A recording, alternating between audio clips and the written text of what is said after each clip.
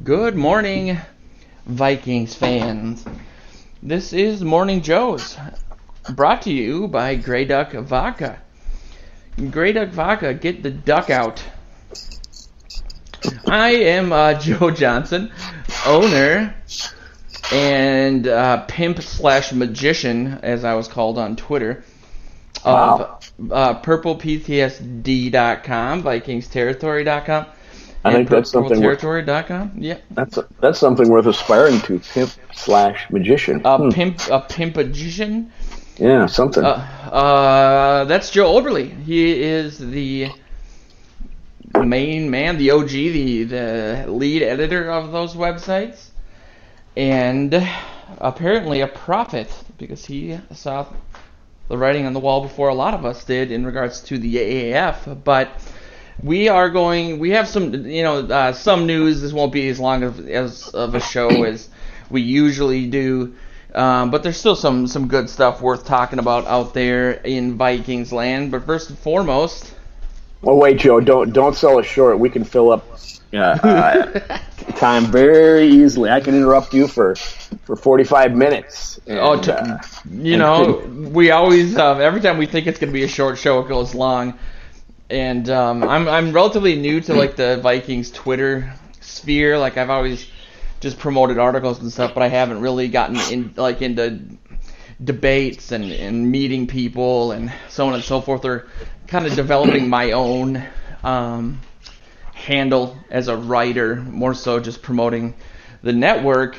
And yeah, I uh, I'm really even though they doubled the amount of characters, I'm really struggling with the uh, 160 character limit or whatever it is. I like the sound of my own voice. But how you doing, man? I'm good. I'm good. Uh, digging out of the mess from that you always have when you go on vacation and and preparing for another one. But uh, I was gonna say not anything anybody else cares about. I guess that's just my deal. But uh, yeah, uh, no, it's good. you're always like in between vacations, which Aren't we all? I wish. I don't even know the last time I went on vacation. Well, you're Um, between that one and your next one, whatever it was. So you're always in, we're all in between vacations. I like te- technically yes. I like the idea of vacations, but I'm the type of person that would just rather be home. I guess like once I get to a hotel, I just am like, ugh. I'm a homebody myself. Uh, my wife really likes to travel, and and and I do, but uh, I like coming home and and uh, and, and and working and and you know taking care of stuff. But uh, it's good to get away, but it's always good to get home. So uh, you know, yeah, I think you just have to figure out how to get that balance and and and make it work for yourself. And so that's kind of an announcement too, because I think next week we're going to have um, a, a kind of a different schedule, or at least we're going to try to. I want uh, Joe will be in Florida. It sounds like next week, so I'm gonna try to figure out a way to have a few of the draft expert guys like Kirby O'Connor on the show next week to do like a deep dive into draft prospects. Kirby's been writing these amazing draft prospect uh, articles that Bleacher Report has been picking up uh, for different players at different positions. So we'll we'll delve into that a little Yeah, more than, than we're doing. Joe, I'll be in Florida scouting out uh, draft prospects for the Vikings if they happen to if they happen to show up in my foursome. So you know if they're there, I'll check them out. Are you going down? Is that your annual Mark Craig trip? It is. It is. Wow.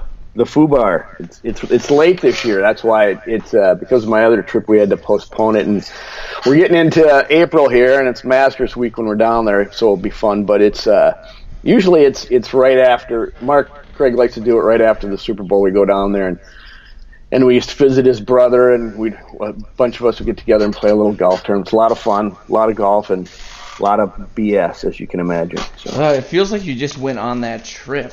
Hmm.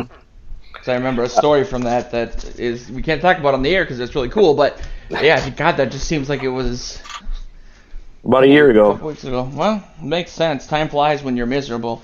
That's right. Speaking of miserable, um, the Vikings have made some moves, uh, moves that surprised some of us uh, on the staff, uh, namely in the signing of. Um, they added another guard yesterday, Dakota And- Dozier. Yeah. Yeah. Is it like Brian Dozier? Or he's, he's Brian Dozier's older brother, I take Could it. Could be long distance cousin. You know, you never know. I have no idea. Um, yeah. What did you think of that? I I, I was know, surprised. like, I.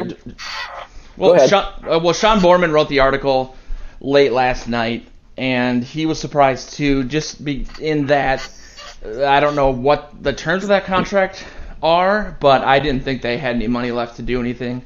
You know, they still have to cover those rookie contracts from the draft, so it was a pleasant surprise. I mean, he's a depth guy, so I'm not expecting him to start, but as we've seen, these backup guys end up playing for some reason with with this uh, line. So, uh, you know, I'm happy. Any depth going from what we had a couple weeks ago, which was one guy, to what we have now is is good. It gives them a little more flexibility for the draft, but I still want to see them go pretty heavy towards towards guards in the draft as well. Yeah, I see it.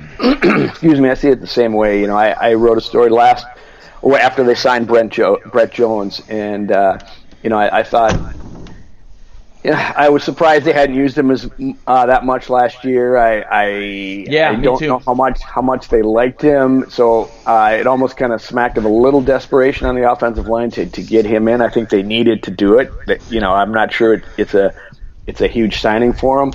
Uh, this this next one with the Dozier on on the heels of that makes it sure seem like they they know the situation on their offensive line. I mean, you make a good point where they get the room to do it, you know, but uh, uh, they had to, and uh, they're going to get bodies in there. And they're, right now, I, I consider both those guys depth guys. So I, Yeah. I, I too would would like to see them get a a Brian O'Neill uh, for an interior lineman early in the draft, someone that can just step in and, and, and play. And I, I know that Brian O'Neill isn't the uh, the savior, for, considered that such for everybody on this uh, purple PTSD or even in Vikingsville. But uh, um, I think you know you hear keep hearing all these situations about the line where they could even bring uh, put Riley Reiff in as a guard and then take Yeah. a tackle in the draft. And if if that's you know if that's the the idea, the best player available is is a left tackle, then I would say grab him and do that. Maybe you know. Uh, Yeah. uh, I don't I don't want him doing. I don't want him reaching for a, a guard, uh, but uh, I, I do want them getting an offensive lineman. You know. I- Yeah, I mean, you would think just I'm not that far into my draft prep, but you just think logic dictates that there's a lot more guards at 18 than there are tackles. You're probably right. To yeah. the point where you could even maybe trade down, which a lot of people are talking about doing. Unless there's somebody that you're just like enamored with, then I say just you know don't get too cute and just do it. Um, but I'm trying to think whether Reiff has ever played guard. You know, he played both tackles for Detroit, and it, it seems like to me he did long ago, maybe even college, but I, I you know I, I didn't I don't know for sure, so no one should quote me on that, and I should probably look it up after the show. I'm but looking hey, at it right now. So far, nothing. Um, you know, uh, two, uh, these guys are all different. I understand that, but Remmers had experience playing guard, and it didn't work out. And Reiff, when healthy, is is a serviceable guy. Um, I I know they've wanted to potentially move on from him, shed that contract, and maybe move O'Neill over there, uh, which we've talked about a lot on this show. And both of us are, are, are kind of against, you know, just because he's doing well at that position, Yeah. why why flip him if you don't have to? now I don't know that it was the Vikings that wanted to do that, but people have certainly Yes. uh, uh, thrown that out there. So um, Yeah, so you know, you look at stuff like this. I, I you mentioned with Brett Jones that it was a desperation pick, and I was at first confused whether pick up rather that that uh, you were referring to the signing this time or last year, and then I figured out that you meant this time. Um, yeah, but I I have to agree with you just in that. I maybe I was I was wrong when they got him last season, but I had different expectations for him. Um, Right. Coming in, I thought you know he is I think one of the was like a top five player in the CFL when he was up there. He went to college in Canada, so he kind of wasn't on a lot of people's radars until he was picked up by the the Giants. Um, but he's flexible. You know, I, I kind of thought of him as like a new uh, Berger, perhaps. And you know, I know I'm I'm really going to go against what I said about not getting too cute right here, but I do like the fact that you know you look at um, Jones and Kline, and both and uh, okay, so both of them have played left and right guard, so that you have that option. I think Kline mm-hmm. is, is penciled in at the left guard position. So and Jones the, the center. Yes, and so um, that's actually my point. So Elf, I I know uh, a lot of people don't like this, but Jones, if if you go to um, the Twitter account of Nick Olson, who is uh, a periodic writer for Vikings territory and hopefully will be the co-host of About the Labor here starting pretty soon with Sean Borman. Um, he posted a lot of tape of um, Jones in the run game, specifically as a guard, and pointed out a lot of his flaws and the liability that he brings to that position. And basically, the point of that and the point of what I'm saying is, is that he's a much better center than he is a guard, or he's much less of a liability at center than he is at guard. And I do think that Elflein could be really, really good at the guard position. It might take him a while to remember everything. It, he hasn't played since his junior year at Ohio State. But, you know, uh, that's a big school. They play a professional style offense, so I don't think it'd be that hard for him. And so if push comes to shove, if you put him Jones at um, at center and Elflein at guard, I think you'd be better off than doing it the other way around. I don't think they're going to. Yeah, I don't know. They brought him in because uh, Elflein was, you know, at the beginning of before tr- training camp ended last year because Elflein, you know, had not returned from his injuries, his off-season injury, so they needed a, a center, and he started the first three games, I believe, before he uh, gave way to Elflein. So um, they brought him in as a center, and maybe they are thinking of him, you know, as a center uh, in the scenario that you just talked about. But then I look at the contract, and it was a one-year contract, so they're not thinking mm. about long term in any, unless this is just a prove it year for him. If if if, if that's going to work, it if if he if that's his better position, stronger position, he certainly had more experience at it, and you can move Elflein to one of the guard positions. And I and you know I have no problem Elflein picking up uh, the guard position if if that's the case. You know, it takes as a center, it takes something off his plate and and maybe makes him a bulldozer over there for for uh, for the run game. But uh, if that's the case, all suddenly we're we're pretty strong at guard. You bring in a, a, yeah. a rookie in the draft and that that you really like that you you know a blue chipper and you you groom him and maybe you don't have to throw him to the fire like O'Neill last year and and and suddenly uh, you've got some depth there, and you can pick and choose and and, and do what you want. I, I, I, you know, I still like to see them. You know, maybe maybe that would then allow them the depth at the guard position. You know, and they can draft one later maybe, but take that take a a great left tackle at the with the first their first pick, maybe trade yeah, up and yeah. get get somebody. I don't know. I, I, it's got to be all offensive line intensive in the in the first day of the draft, and and uh, um, I think this strengthens the Vikings' position a little bit, but it's still such a, a thing in flux. We'll have to see what's happening. Yeah, I mean, having options is a good thing. Again, compared to where we were a couple weeks ago. Mm-hmm. Um, Sean Borman's article about Dozier, he this is where we're at with the line he put in the article. So the placeholder starters Riley Reiff, left tackle. Brett Jones, left guard. Uh, Pat Elflein, center. Josh Kline, right guard. Right tackle, Brian O'Neill. I was. Mm, I'm surprised by that. I thought Klein would play left guard, maybe. Uh, well, he could play either, so. Yeah, uh, that's that's yeah. true.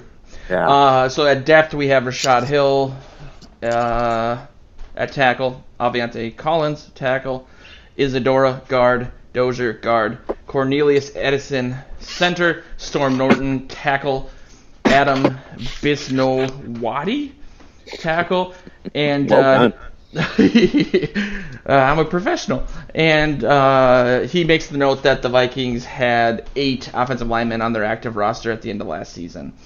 Um, And so, yeah, I mean, we'll see. I just, I'm not enamored with with the, the situation. I don't, I wouldn't be very happy if we were going into the season with this roster, obviously. But again, they've made something out of nothing, a few somethings out of nothing, and so that that's a good sign. You know, it it does scare me a little bit though, just because I feel like having some semblance of an actual offensive line setup might entice Zimmer and Spielman to say, hey, well, let's go, you know, defensive line, or let's try to get, you know, Oh a lot of people are Oh talking my. about uh, t- a tight end.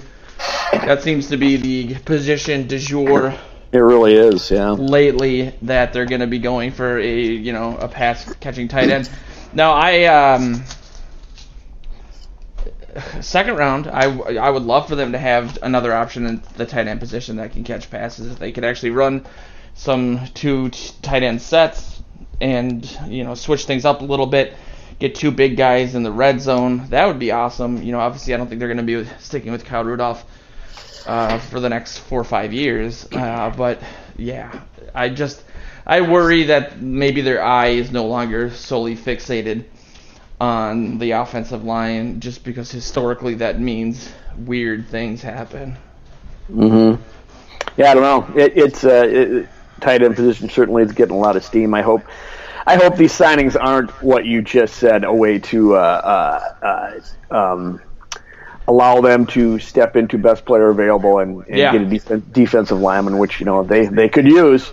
Um, and you know, I think it's the draft is pretty uh, uh, deep and defensive lineman too. I think I'm not sure. I have haven't been studying it up as well as some others have, so I, I, I can't say for certain. But uh, yeah, yeah, you're you're an excellent conspiracy theorist, and, and it and it could, it could actually be uh, moving that way. They they put so many bodies on here, no matter how good they are, and the offensive line say, yeah, we did we did stuff to do the strengthen Yep. the offensive line, so we can go quarterback.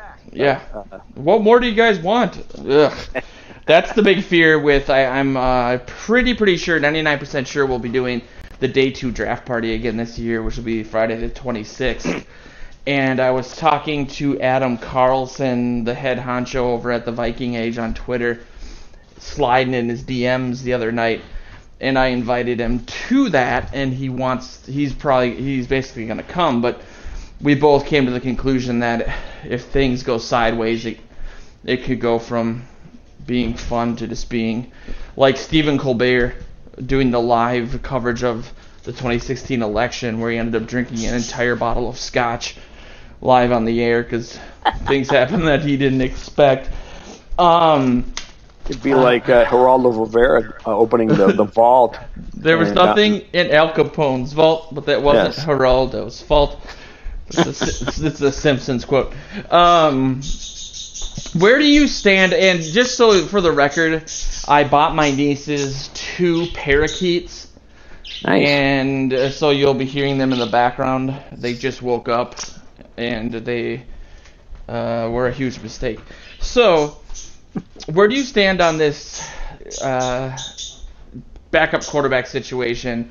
You know, there's the adage with a lot of teams, but with the Vikings especially, that the most popular player is the backup quarterback, and a lot of people have been saying, you know, why is the team bringing in these guys uh, for the backup position? Why did they bring in, you know, the uh, Sean Mannion, the the Rams guy, when we have Kyle Sloter? And I saw someone go as far as to say that Sloter, the Vikings would have had at at, at minimum the same amount of wins last year, and at best case scenario, two more wins had Sloter started last year, which is just insanely stupid of an argument. It's just got it. uh, My response to that was, do people for like, do people think that that uh, Thielen broke those records by himself to start the Yeah. season?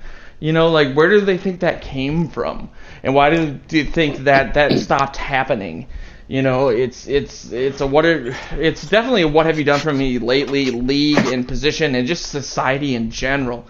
Um, but that drives me a little crazy. Uh, but yeah, you know, I don't think Sloter's the the worst option as a backup, and that I do think they can, especially with the compensatory picks that they got, they could probably snag somebody later. They don't necessarily need to, br- you know, uh, bring somebody in, um, especially with how things are going in terms of money. Um, okay. Uh, There's like five questions there. I has Sloter played in a regular season NFL professional game? Uh, no. Um, you, you said it earlier. The, he tore it up in the preseason down uh, in Denver. Don't even start. Don't even start. It. it uh, and, until we see him have to do that, uh, you can't really judge him. So, I, yes, I know the unknown is always better than than, than what Yes. you got right in front of you. Yes. There's just no question. It's way. It's it's human nature. It's certainly uh, NFL fans' nature, and so I get that. Um, I'm a little bit. Uh, uh, given that that we haven't seen him, that you know we know Sloter's got a strong arm, and that's a little else. Uh, I I am really disappointed they haven't gotten somebody else in there. You know, a professional, uh, a, a professional. Uh, uh, sorry about that. No professional, uh, with experience, quarterback. Established guy. Thank you. Yes, like Yes. they had last year, because you know you know dang well if they don't do that, that's when uh, uh, Kirk Cousins goes down. It's just going to happen. You know, Yeah. last year they had they had uh, uh, uh, someone who started in Siemian. They had someone who started in the league elsewhere, and he could have stepped in and, and held the place while Kirk Cousins got, came back from an injury. But now, no chance. It's, it's just I'm sorry that talk about a conspiracy theory or whatever. Or, No, or, uh, it's. I mean, look at Bradford. He got uh, the season that the Vikes started five and zero, and then everything fell apart. He was getting hit left and right, and then you know he gets hurt when there's some semblance of protection. It seems like that happens. The, the season where the guy, the QB is getting hit left and right, he's fine, but when they finally get a line in front of him, they go down for whatever reason. So I completely agree with you. So Um, given that, you you, you want to see him get somebody in here. I guess I don't want him to just be anybody, and maybe that's you know maybe it's a good thing they didn't give a Man Manion or Manon whatever his name is a contract. If they don't like him, that's fine. But uh, you, you need somebody in there with some experience to step in. You know that, that's all there is to it. Johnny Football. No, no, no, no, no, no, no, no. Oh man! Speaking of Johnny Football, um, you had sent me a text this morning saying that we, in in the same vein of questioning as is what we're talking about now, that the Vikings were going to be working out uh, Brandon Silver, who I believe was the starting quarterback for the Memphis Express, and then soon to be shuttered forever, AAF. And God, it's such an interesting topic, and there's a few things we should delve into here. But mainly, um, I saw an article that the NFL sent out a memo to the team saying you can't talk to any of these players because the AAF hasn't technically completely folded, even though it's going to. Even though they sent out a tweet saying the NFL has every right to talk to any player they want to because we're basically done. But until they're technically done, I think the NFL is just going to be a little um, protective and and and not start those that process until they know 100% instead of 99.9% that the league is going to fold. So that's so- that's something that um, might throw a wrench in those gears. I'll let you take the AAF thing because you uh, were, as I said earlier in the show, uh, prophetic in your presumption. I won't call it an assumption because you had evidence in in regards to what you're about to say uh, that the league uh, folded. Well, I was just never uh, on board until you see it. You know, a little bit of. You know, it sound like I'm repeating myself, but we, you know, you, you got to see it play out to see if it's if it's got any staying power because this has happened so many times before. I've, you know, I, you know, I got to be honest. Every time I see the acronym AAF, I, I get, I think about this acronym that's the other AF acronym that you see in social media, Yes. and I, I'm, uh, I'm it, AAF is basically how I feel every time the Vikings make a draft choice, anxious AF, you know. Uh, and uh, I think that's the that's the way, it's a perfect acronym for this league because everybody that signed a contract with the AAF should have been anxious AF. But Yeah. uh, I, I just you know everybody was excited. And it's more football, and I got it. But I was just saying, oh, let's let's just slow the roll here and just wait and see. If, you know, it was it was different because the NFL was involved, so so Yes. it had it had more of a chance. But I am so I am surprised as well that it didn't even make the entire season. Or they got Yeah. two weeks left or something. That that that to me was really surprising. But You you know, that mm. NFL is such a juggernaut. You know, it just I, people. I mean, look at what's going on right now. I mean, you got when, when the season ends. I think everybody takes a breather a little bit, gets starts getting fired up for the draft, and they watch basketball and hockey, and and they really do enjoy it. You know, and they start getting ready March for baseball. Madness. Yeah, so I, I didn't I didn't watch a game. I didn't think that. No. Uh, you know, I, I knew the the kind of uh, uh, football we were going to get. Um, so it, it just didn't grab my attention. But you know, I, I'm sorry Any that league where Trent, Trent Richardson gets three, four touchdowns a game is probably not that great. yeah, yeah, and, you know, and and you know, it, it really tells you like, um, it, it, the NFL is is the cream of the crop. I mean, it, it almost makes you think like these are college. It's you know, when a player plays in college and does well and he gets all people get all jacked for him for the draft. Sometimes you got to consider who he's playing against because he's not playing against NFL caliber Yeah. teams where everybody's a great player. He's playing against you know. Uh, a pretty decent group of guys and a bunch of slappies, you know, that, that are, they're filling out a roster. And that's, I, I don't mean that literally. They're, they're, they're all decent players and they're, but they're college students too. So I don't know. I, I just, uh, I had that conversation last night with with uh, somebody at the liquor store. These guys that played for like and one basketball that looked like unstoppable, and why only like one of them had ever ended up having a decent NBA career, and he was a a bench warmer. Uh, I forget what his name was, but outside of the fact that they were basically traveling on, on most of their moves, it's it's you're right. It's the level of competition that they're playing against. Right. So it, you know, it's it's too bad. I don't want to see anybody lose their job, but uh, we could kind of see it coming, and I wonder if they'll stop trying to do this. You know, I, I don't know. It'll Uh, be interesting, we'll Joe. to stop see the if- XFL. Yeah.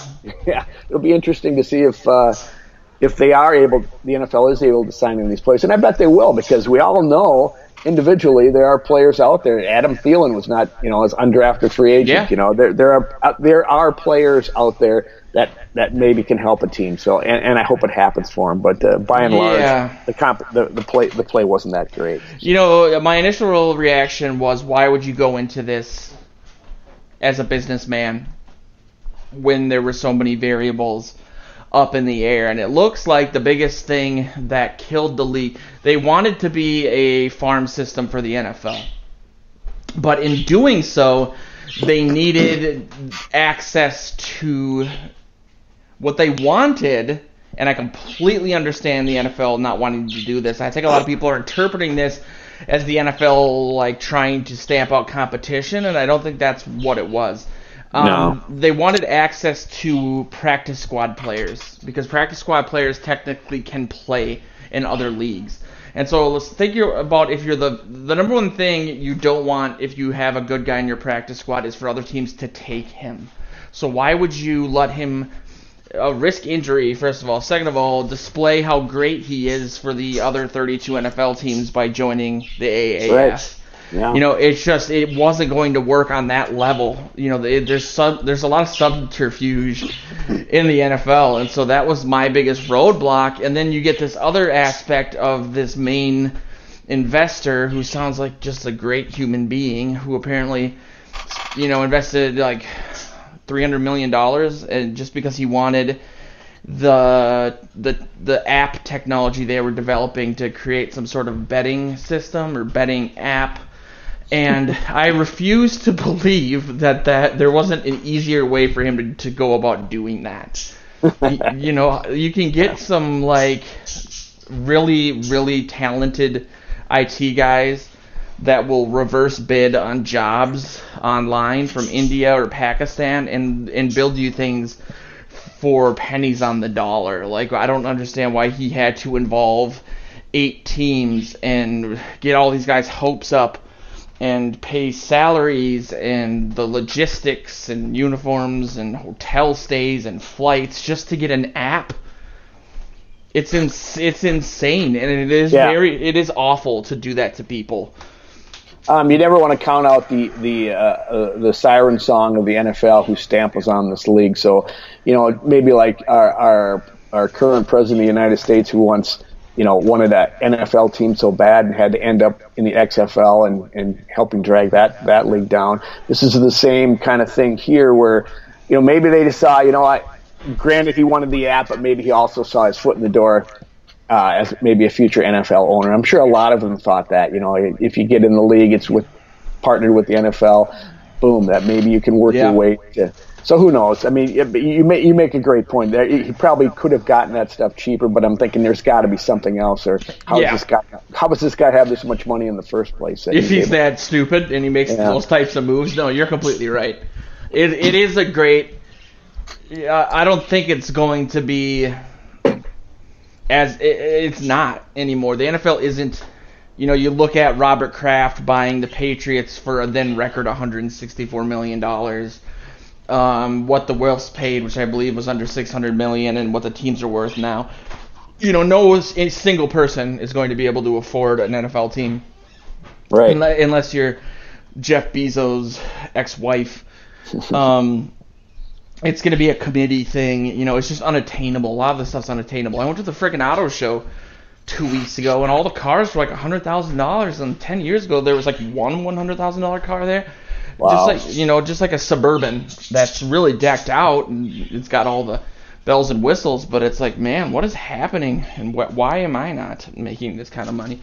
Um, and so, yeah. Well, you're working see, on it, Joe. You're working on it with this website. So I got my foot in the door. I'm gonna start. Here's my new plan. I'm gonna start a farm system for the NFL. um, because I want a a new color layout for the website. uh, the last thing I wanted to cover because it makes me very happy is um, if people haven't seen us talking about this online uh, we are partnered with BleacherReport.com now and Apple News. Uh, so if you get your uh, Vikings news through Apple, we should be on there by next week at the latest. But one of the top stories in the Vikings section of Bleacher Report, actually the the main like two above our stuff is uh, related to the Packers. And there was a story written. I wrote the author's name down because this is one of the best articles I've ever read. Uh, his name is uh, Tyler Dunne, D-U-N-N-E, and the the headline was "What Happened in Green Bay," discussing the tenure of Mike McCarthy and uh, you know the career of Aaron Rodgers. And the article, I really highly suggest that you do read it. I will link uh, link to it in the article for this show on both on all three sites actually. PurpleTerritoryRadio.com being the third. And what was really great, I mean, it was a lot of stuff that you knew, but the level of it, I think, was surprising even to me. And and Agreed. The, you know, the biggest surprise was some of the things that ex big name Packers had to say about Aaron Rodgers, namely and Greg Jennings and Jermichael Finley. Um, yeah. Uh, so this the, the story basically starts out with kind of on Rodgers' side or from his perspective and how he would tell people that that McCarthy had the lowest football IQ of any coach he'd ever had back to, to, high school. That he would run plays that worked maybe one out of 50 times in practice during the games, and basically that he would have to bail out the team by audibling or turning nothing into something.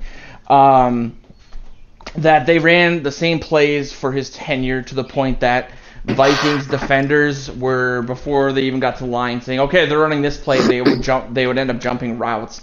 The example given being this slant route they used to throw to Cobb that was just deadly for a year and a half, and then it was just impo- it didn't work, but they kept running it. Um, and so a lot of it was about Rodgers' frustration with McCarthy. Yeah, but, that seems to be the whole gist, you know, about that that, that they were their their relationship was more fractured than than we knew. Yeah, and the other angle being uh, a lot of people saying what a bad leader Rodgers is, that he's extremely sensitive, that he blames everyone but himself. Um, uh, one of the ex scouts for the Packers called him arrogant and that he's not as smart as he thinks he is. Um, oh God, uh, Greg Jennings said ultra sensitive and the main source of toxicity on the team. Wow. Uh, well, you, you got to consider that self, self, yes, I know. Uh, self-entitled and bad leaders, what uh, Jermichael said. And so uh, beyond that, they said that you know this should have been a Patriots-esque dynasty.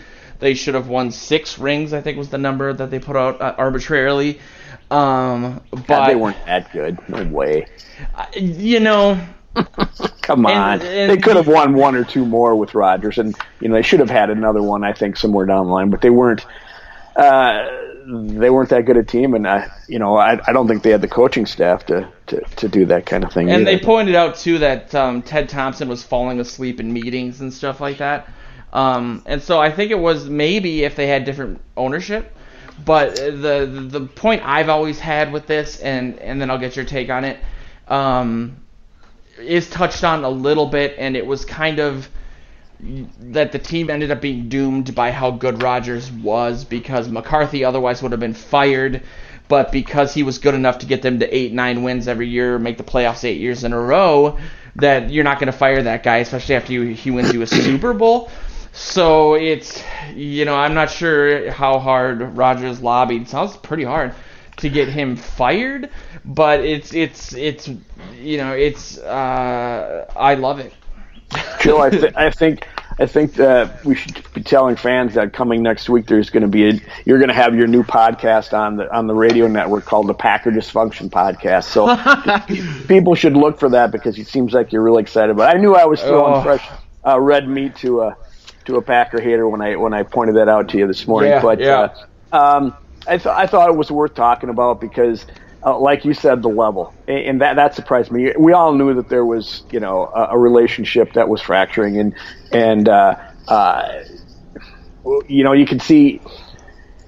Uh, you can see the, the, the look on uh, Rodgers' face a lot of times on the on TV when, when something didn't work or he didn't get the right play he wanted or or what have you. He he, you know, uh, RB RBF. You know, they say it's another acronym. I think Ro- Rodgers would have that when when he would uh, uh, look over to the sideline. Yep. I've been uh, accused of having that too.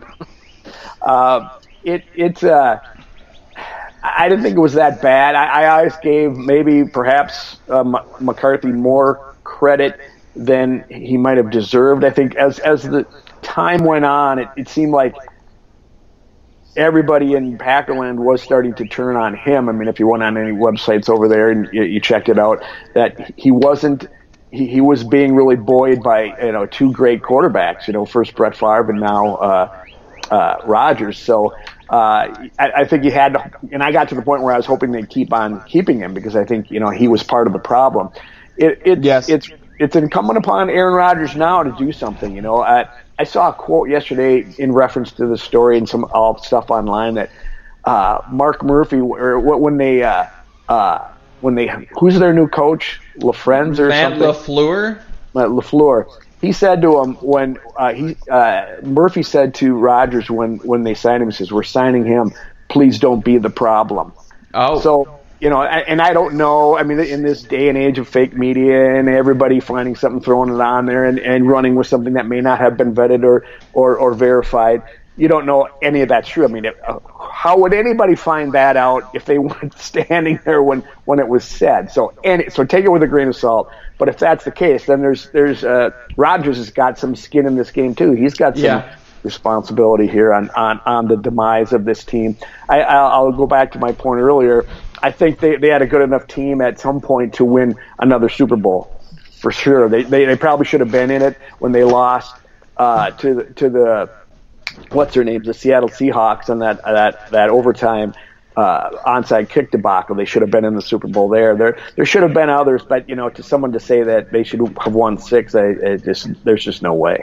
But yeah, it does it does make me wonder, like you said, um, the the process of hiring Lafleur, how much how involved Rodgers was. There was a lot of stuff last year that there were decisions being made without Rodgers that you know, they fired his, I believe, his quarterback coach without asking him, which seemed odd.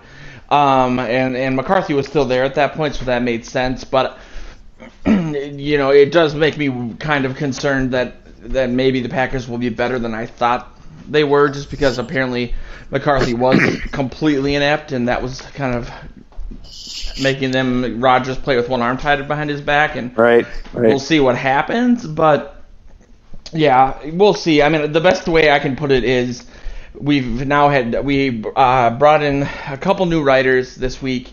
One, if if you're a Vikings Twitter guy, he goes by uh, optimistic Vikings fan, which means he's like my complete opposite. And uh, he actually was a Packers fan growing up, and and said that he switched. He didn't say why, but it's similar to uh, Roger, who wrote for us for a while, who like in his 50s made the switch because he didn't like how they treated Favre. And so I think, like you, uh, like you said too, there's a lot of dysfunction, and some people just got so sick of it that, for whatever reason, they they jumped to, to the Vikings, which, uh, you know, uh, I'm. We have a big tent. Come join us. and and uh, as the Packer fans that don't defect will remind you, a big tent but with nothing in the trophy case. So, I uh, so we have a new merch store with shirts and hats and and you know uh, aprons for barbecuing. And uh, one of the shirts I want to make is I'd rather live in Minnesota and never win a Super Bowl than live in Wisconsin and win one every year. Well, the thing is, uh, there's so many people that would just counter that by saying, heck, I live in Minnesota and I'm a Packers fan, and you know they just come across the border because they live or work in in Minnesota and then run back across the border yep. and, and, and in, near the Twin Cities. So, yeah, you know, yeah, it's it's it's always a battle. It's a great rivalry, and it's it's uh, it's so it's worth talking about here. But I don't Definitely. I don't want. I don't want us to turn into a, a Packer preview with uh, Dave Sinekin here on, on the show. So yeah, you know, I am one of the people that you know, I, I see some people online that don't like some of the back and forth that happens, and I think that it's what makes this so fun. You know, absolutely, absolutely. it's rivalries are, you know, football more than anything else is the other sports is so tribalistic anyway, and so it's it's it's just part of the fun. You know, Wisconsin and Minnesota are like as close as two states could be. It's just, we just happen to have been either born or raised or whatever here, and this so makes it's just fun to rib them a little bit. This this makes for a good off-season story. There's no two ways about it. Totally.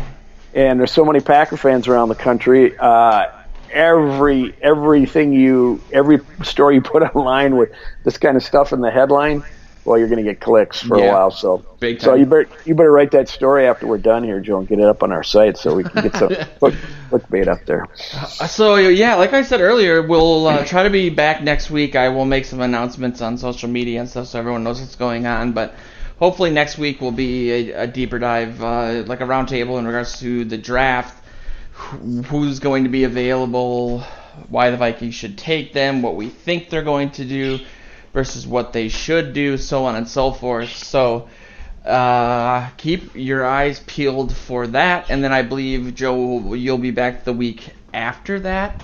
Yep, yep, and hopefully I'll have all kinds of intel on the Vikings draft yeah. choice. You know, no, I'm certainly going to talk to Mark Craig and see what he thinks. He's Star Big. Tribune writer, who's a friend of our show, and we got we got to get him back on here. I, I may have yeah. to talk to him about that this week. So and uh, let him know about the day two draft party uh, once I confirm it. I'm actually calling uh, your dream location. I'm hope we're hoping to host it at Top Golf out in Brooklyn Center. Nice. Uh, I'm pretty sure that's going to work. I'm pretty sure that we are going to be running it with somebody else, which would be really awesome. So keep an eye out. I don't want to confirm anything until it's 100% confirmed, but uh, we will let you know. That'll be Friday the 26th, probably starting around 5:30 or 6 p.m. Uh, and like I said, we'll be back next week. But definitely go if you're looking to try a new vodka, or you know, even if if you're not, consider uh, Gray Duck Vodka. It is the vodka of Chad Greenway. Uh, they are in almost a thousand stores now across Minnesota, North Dakota, South Dakota, and now Iowa. So you can go to their website, grayduckspirits.com, put your zip code in, it'll tell you where you can find it near you. I did a unscientific taste testing at the liquor store that is a client of ours. I bought a bottle and let people try it because I actually am six years sober. Uh, ten days from now, so I That away, dude. That away. I am the best. And everybody, um, I don't know if it's because I was staring them uh, in the eye the entire time, but everybody said they really, really liked it. So it's uh, it's a really good vodka. It's gluten free.